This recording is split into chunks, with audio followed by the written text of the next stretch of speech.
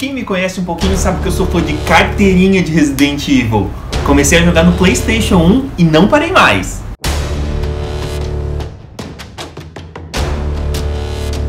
Essa semana estreou no cinema o Resident Evil Bem-vindo a Raccoon City. E é claro que eu fui lá conferir e gostei bastante do que vi, pois esse filme tem um foco muito maior na história dos videogames, principalmente no Resident Evil 1 e 2, que foram os que eu mais joguei. E você, qual Resident Evil que mais fez a sua cabeça? Bem-vindo a Raccoon City dá um reset nos filmes anteriores. Sai a Alice aquele universo maluco, repleto de clones e seres super poderosos, que na minha opinião tirou um pouco da graça de tudo. Por isso entra uma versão um pouco mais pé no chão, que remete ao início da franquia nos games. A trama segue os irmãos Claire e Chris Redfield. Claire vai para a cidade investigar uma conspiração envolvendo experimentos duvidosos da Umbrella, então a vida dos dois é mergulhada em caos quando uma misteriosa infecção começa a transformar os habitantes em mortos-vivos. Desde o início, todo o propósito desse filme é ser mais autêntico ao jogo, mas tem vários detalhes que são alterados. Os incidentes na mansão Spencer e do surto em Raccoon City, que originalmente eram espaçados em alguns meses, agora ocorrem simultaneamente na mesma noite. Além disso, a personalidade e o passado dos personagens também foram um pouco alterados. Nas telas, os personagens dos games ganham traços mais exagerados.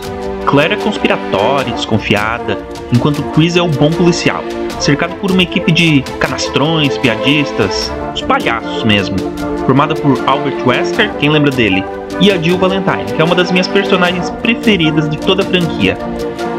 Já o Leon, policial novato que no primeiro dia de expediente é quase um apocalipse, é igualmente desajeitado e prestativo, mas com um bom coração para compensar a falta de experiência. Bem-vindo a Raccoon City foi feito com um orçamento minúsculo, por isso a gente não pode exigir muito dele. Eu fico só imaginando como seria esse filme se tivesse os mesmos padrões dos filmes da Marvel. Ia ser bom demais. Mas quando se trata de agradar o fã, a obra se destaca. É tudo que o reboot se propõe a fazer, e consegue entregar algo que é visualmente idêntico, cheio de easter eggs e uma atmosfera mais pesada, sem tanto foco na ação. Para falar a verdade, a decisão de adaptar dois jogos de uma vez só foi meio questionável. Tudo ficou meio corrido, e apenas uma pequena porcentagem dos cenários marcantes dão as caras na telona. É um pouco decepcionante ver a entrada da mansão Spencer e não poder se perder por aqueles corredores apertados que tinha no jogo. O mesmo vale para a delegacia de Raccoon City, que teve toda sua complexidade resumida em apenas dois ou três ambientes. Dificilmente o novo Resident Evil vai te deixar apreensivo como deixou durante as jogatinas, mas no final vai ficar claro que sequências virão por aí, mas vai depender do sucesso dele nas bilheterias. E você, já foi curtir Resident Evil nos cinemas? Tá ansioso pra sequência ou não gostou muito? Conta aí pra gente, a gente quer saber tudinho. Resident Evil.